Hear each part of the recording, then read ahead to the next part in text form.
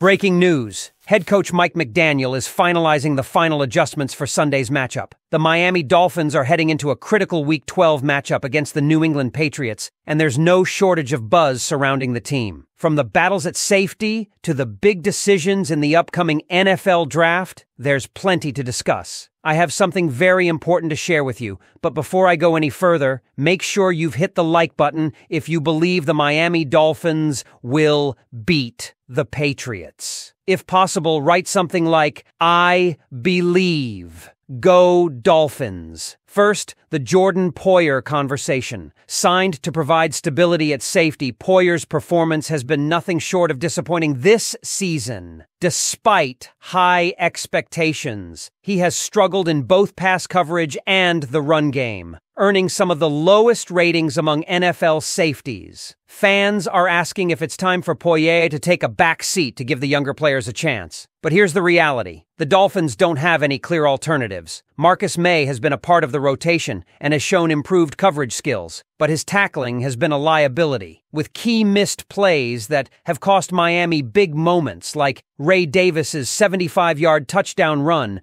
or Kyler Murray's failed stop on a critical third down run. Options like Elijah Campbell or elevating rookie Patrick McMorris from the practice squad seem unlikely to make an immediate impact. So for now, it appears Miami is stuck with Poyer as its top option, even as fans are clamoring for change. Another hot topic is defensive coordinator Anthony Weaver. Weaver is starting to draw interest as a potential head coach, and his leadership has been a bright spot for Miami's defense this season. NFL insider Tom Pelissero even listed him as a rising name in coaching circles. However, it's probably too soon to see him leave Miami. While his work as DC and his time as an assistant head coach in Baltimore have showcased his potential, it's expected that Weaver will stay with the Dolphins for at least another season. That's good news for a defensive unit that has shown toughness and improvement under his guidance compared to last season. Turning to the upcoming draft, one name that has emerged as a potential target is Michigan defensive lineman Mason Graham. While the Dolphins aren't expected to tank this season, there's no doubt that the defensive line will be a priority. With Christian Wilkins departing in free agency and veteran Calais Campbell likely nearing retirement, Miami needs a long term solution. Graham, known for his dominance and consistency during his time with the Wolverines, would be an ideal fit if he falls to Miami's draft range. The Dolphins front office, led by Chris Grier, will need to carefully evaluate their draft board to address critical areas like offensive line, safety, cornerback, and defensive line. Speaking of the offensive line, there's some good news on the horizon. Isaiah Wynn is expected to return soon, providing depth and flexibility for a unit that's been hit hard by injuries. With Austin Jackson on injured reserve, Wynn's ability to play multiple positions makes him a valuable asset as Miami looks to stabilize its protection schemes. While the Dolphins have elevated Jackson Carman from the practice squad as a temporary fix, Wynn's return could provide a much needed boost heading into the final stretch of the season. One of the biggest shifts in the Dolphins' offense this season has been their approach to the deep passing game.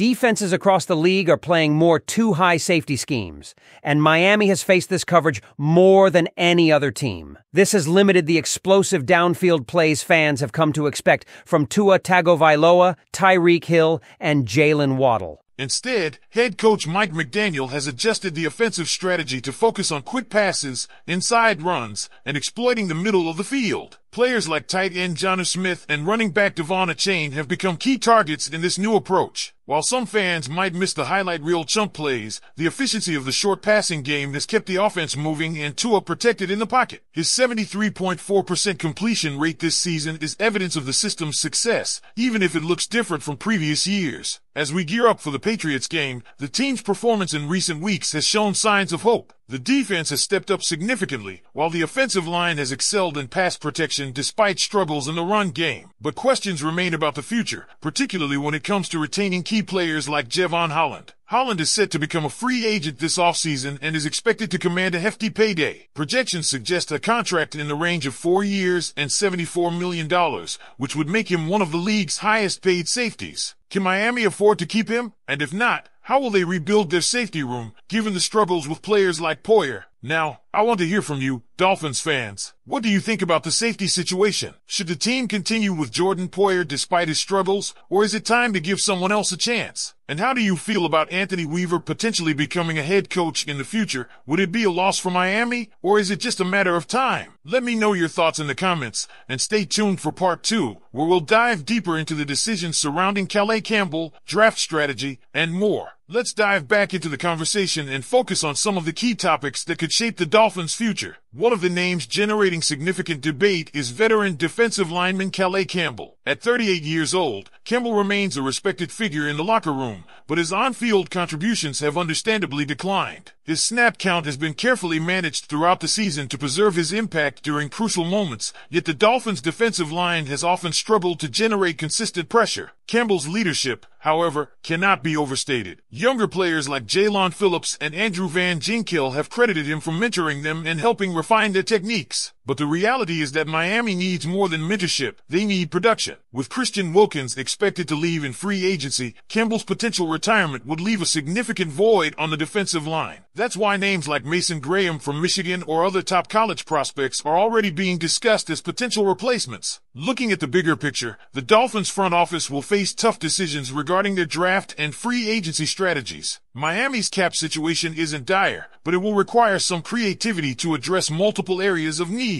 Alongside the defensive line, the safety and cornerback positions remain top priorities. Xavier Howard's play has been inconsistent, and while rookie Cam Smith has shown flashes of potential, it's clear the Dolphins will need reinforcements in the secondary to compete with the NFL's top offenses. Another area of focus for Miami has to be the offensive line. While Isaiah Wynn's return provides a short-term boost, the Dolphins still lack depth and consistency across the unit. Injuries have plagued this group for years, and while Tua Tagovailoa's quick release often masks protection issues, it's not a sustainable formula. The Dolphins can't afford to keep gambling on short-term solutions. They need to invest in young, durable talent through the draft. Speaking of Tua, let's address the quarterback situation. There's no question that Tua has taken significant strides this season. His decision-making, accuracy, and leadership have been evident week after week. However, questions about his long-term durability continue to linger. With Tua's rookie contract nearing its end, Miami will soon face a critical decision. Commit to him as their franchise quarterback with a lucrative extension or consider alternative options. For now, all signs point to the Dolphins sticking with Tua, especially given how well he fits into Mike McDaniel's system. But don't be surprised if the team invests in a quality backup quarterback this offseason, just in case. On the defensive side, Jevon Holland's contract situation looms large. As we mentioned earlier, Holland's projected contract could make him one of the highest paid safeties in the league. The question isn't just whether the Dolphins can afford him, but also whether they should. Now, over to you, Dolphins fans. What are your thoughts on the decisions the team is facing? Should they prioritize extending Jevon Holland, or would you rather see that money spent elsewhere? And what about Calais Campbell? Should the team bring him back for one more season, or is it time to move on? Let me know your take in the comments, and as always, stay tuned for more updates and insights as we cover every step of the Dolphins' journey.